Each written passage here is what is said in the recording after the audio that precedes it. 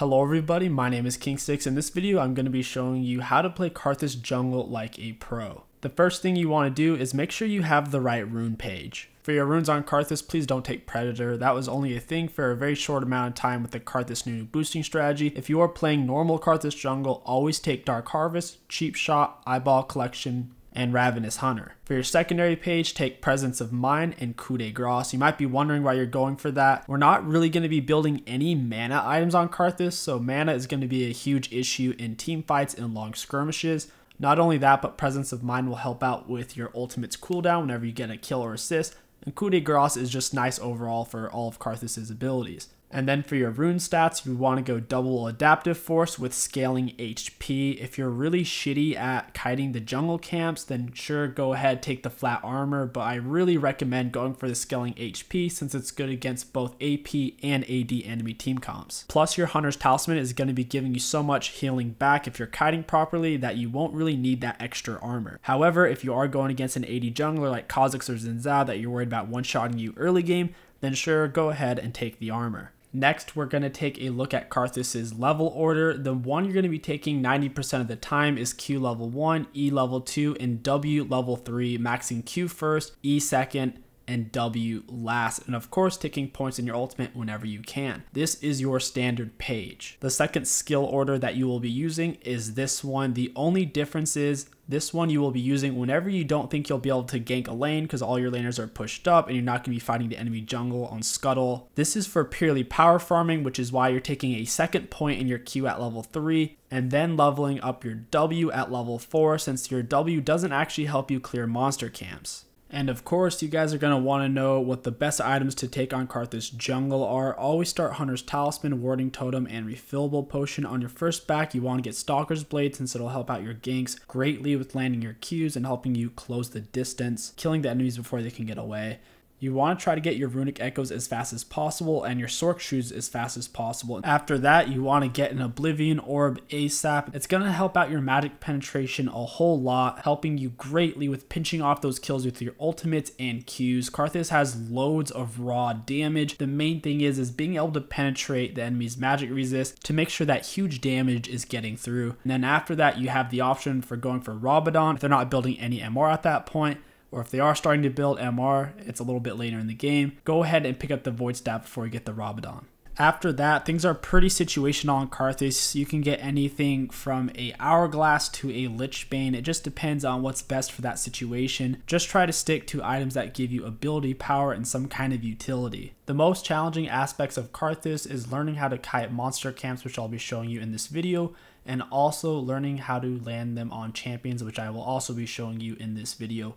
The first jungle path I want to show you guys is a very aggressive one, and it is based off of this invade. Karthus is one of the strongest level 1 champions in the game since his Q has no cooldown, it's only one second, and it does insane damage. Especially since we have a Braum, this invade is a no-brainer against their team comp, plus invades and solo Q are OP.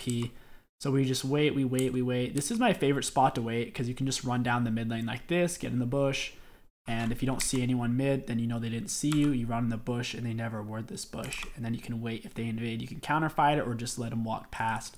So this is where we end up waiting. Braum leads. Zyra has terrible reaction time. Braum gets off a proc. He lands the Q, which entices me to flash and Lucian to flash, and we pick up a kill.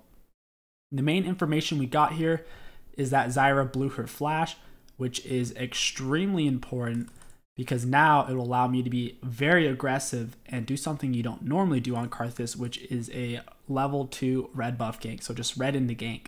So I'm going to get my leash, go bot lane since we know for a fact Zyra doesn't have leash. She'll have no way to get away. Braum can even use his flash to auto her if he needs to.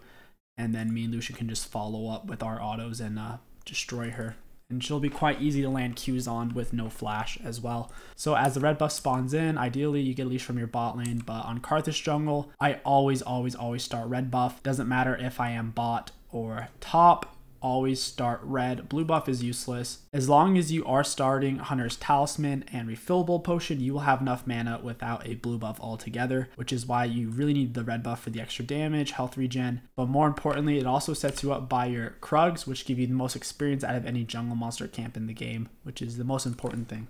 Okay, so we get the leash. I start out in melee because if you make your laner's leash, they'll oftentimes leave. So uh, you try to tank a little bit. So you're just going to Q auto, Q Q auto to do the most damage and take the least amount of damage is Q auto, Q Q auto, Q Q auto. The reason for that is early and mid game on Karthus, your Q is on a shorter cooldown than your auto attacks. So by you trying to auto attack in between every single Q, especially against monster camps, you'll be missing out on a lot of damage.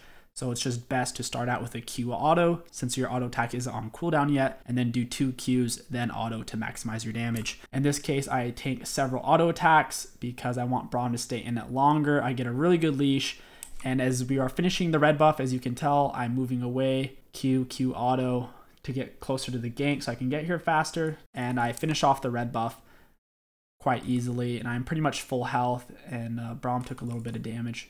And then you'll be able to see here how we come in for the gank. We just try to get as far behind them as we can. We don't run straight from here. That way we get the most amount of time to kill them. Zyra, no flash. Braum does a beautiful job landing his Q.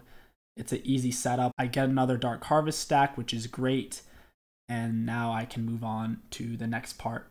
I know Sylas didn't start blue since his bot lane didn't leash him, and I saw Pantheon come to lane late with missing mana. Having that knowledge, it's much faster for me to take Scuttle Crab and blow out his jungle than it is for me to run all the way over to my jungle and potentially try to stop him from taking it since it's a shorter walk. Jungle is jungle. It doesn't matter whose side it's on. If it's closer to you and you can take it safely, just take it. In this case, I know I can solo Sylas, plus I've won my bot lane and I have a pushing mid lane. So even if Sylas does do his red buff and do his blue buff, I can mess him up. My teammates can get there faster.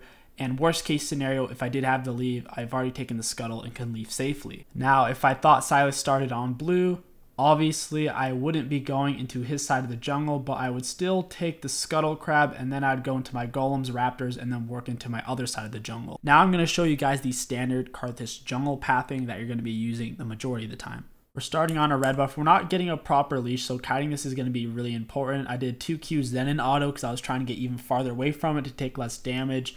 Normally, if you're getting a release, you'll Q auto, Q, Q auto. In this case, I'm just doing the best with I can with what I got just QQ auto, moving back, moving back. I take minimal damage. I have pretty much full health, but for how shit my leash was, this is pretty good. This is what you want to do 90% of the time. Right into golems, because golems give you the most experience. Look how I attack the golems, and I start out closer to the medium one. You can't see him yet because the game sucks, but trust me, he's there. And I start out closer to him. The smaller golems have more movement speed than the big one and they also do way less damage. They do a fourth the damage and they're much quicker, so you can use them to body block by using the wall and their bodies. So I start out by hitting the big one. I'm trying to hit it with only only hitting the big one with my Q. If I hit both of them with my Q, it does have damage, and I'm trying to kill the big one since it does four times the damage. And so far, it hasn't hit me yet because I'm using the wall on this one to block it. it. Okay, it hits me once. I smite it. Make sure you save your smite for the golems. And then you want to try to hit all three of them with your Q to maximize your damage here. And as you can see, I'm full HP, guys, playing a mage in the jungle. Full HP, really, really freaking fast clear. And the beauty of this clear is it gives you so many options.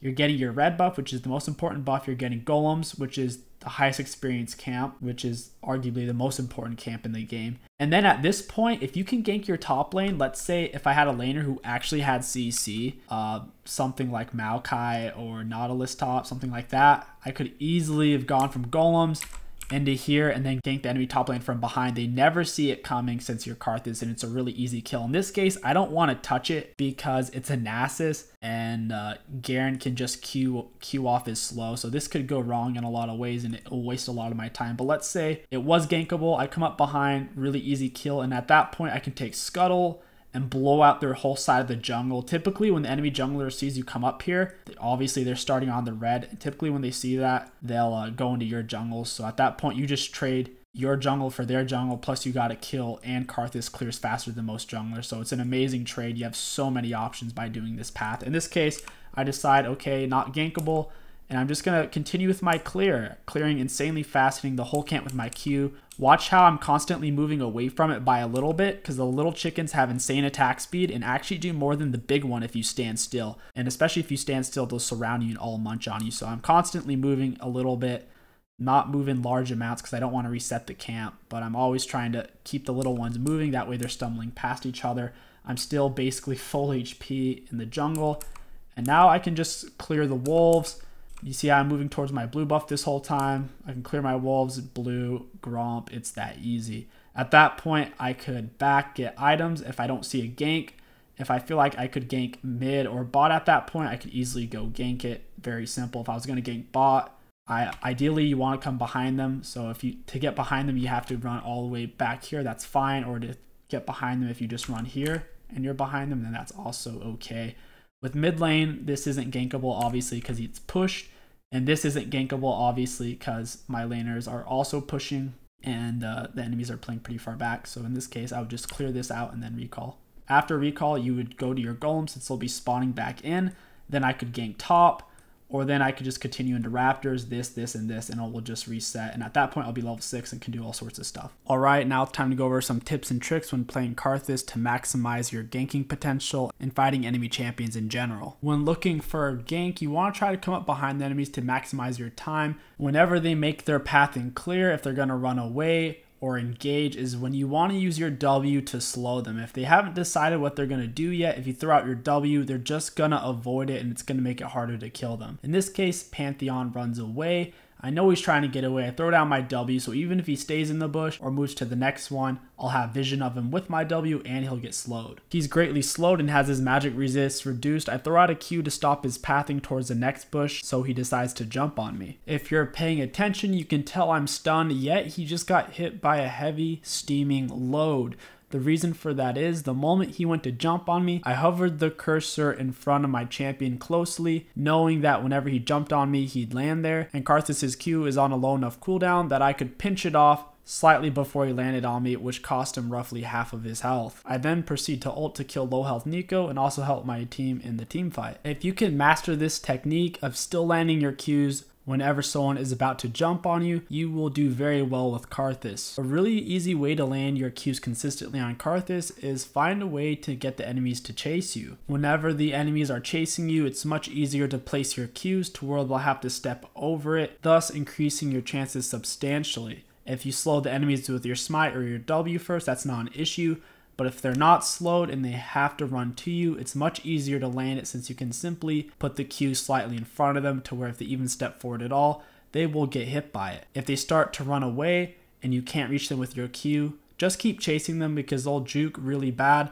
making it easier for you to catch up and then hit them with the Q once they put themselves against a wall or a turret. Whenever you're dealing with enemies close up and personal, don't forget to flick on your E to do some insane damage. Plus your E applies Dark Harvest instantly, so if they're below half health, Flick on that E and watch their health just get blown up. Even if the enemies CC with a suppression or knockup, your E will stay on. So in this case, Malzahar ulted me and he lost over half his health, which I also healed off of because my Ravenous Hunter, just because I had my E on. Even if somebody's high damage, don't forget, just keep moving away from them and throwing out Qs slightly in front of them and they will land. There is a bit of a learning curve to this. After you play around 10 games of Karthus Jungle, you should feel really comfortable with consistently hitting melee champions with your Q. Against ranged champions, if they're just as strong as you and there's nothing really forcing them to run away from you because you don't have teammates, then you're typically going to have to hit them with your W slow or a blue smite to consistently land your Qs in team fights, don't just throw out your wall to zone. It's really important that you actually land it on enemies because it is a massive slow and it also shreds their magic resist, which will help you do insane damage. I'm going to show you that scenario again on a standard clear, red buff into golems. This time I have a Sion and I see the Kayle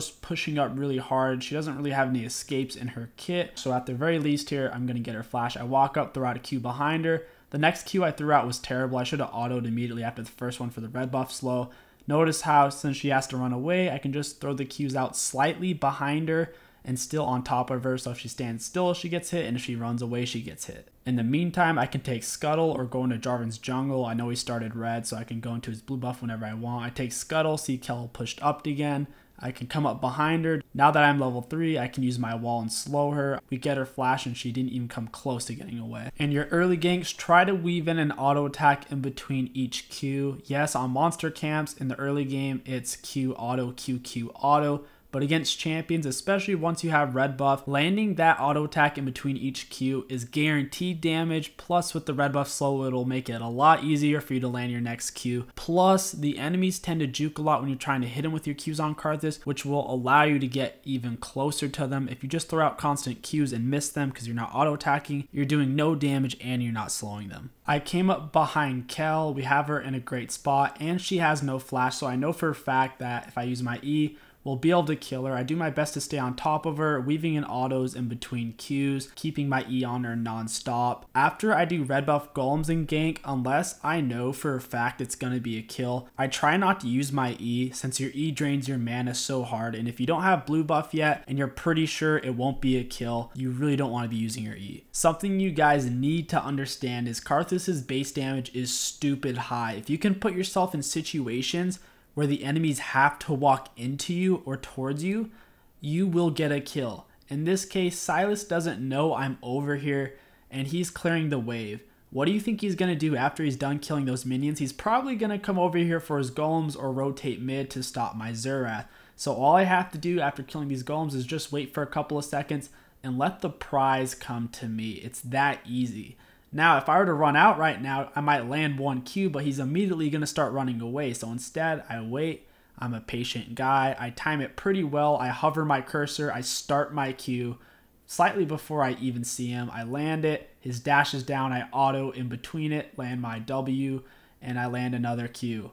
That is the power of Karthus, guys. You gotta watch out. That Dark Harvest hits hard, and the Qs hit even harder. The final thing I want to show you pertains mostly to the late game. Throughout the game on Karthus, you want to use your ult whenever you know for a fact you're going to get a kill with it. It's not worth using unless you're sure it's going to be at least one kill.